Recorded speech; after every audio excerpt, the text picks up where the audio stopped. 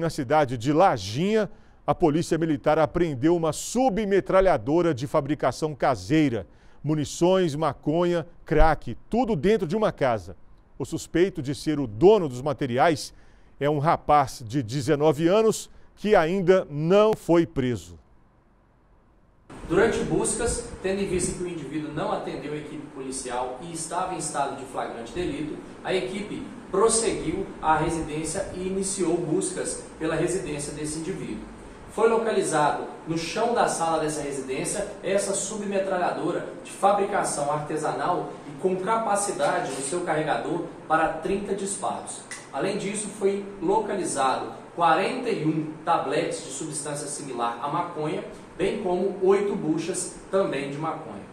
Foi localizado também 51 munições calibre 380 que calça nessa espingarda de fabricação artesanal, bem como 12 munições calibre 9mm, touca ninja, balança de precisão, bem como outros materiais utilizados para o preparo e venda do entorpecente.